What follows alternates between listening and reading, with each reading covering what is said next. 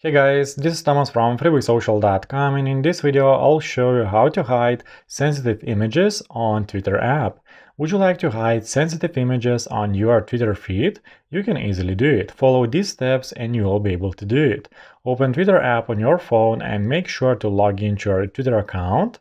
Tap on the three lines icon at the upper left corner of your screen. Go to Settings and Privacy. Proceed by clicking on Privacy and Safety. Scroll down and switch the toggle off next to Display media that may contain sensitive content. Done. From now on, sensitive images will be hidden from your Twitter feed. I hope this guide was helpful and you are able to hide sensitive images on Twitter app. Don't forget to like this video and visit us at freewaysocial.com.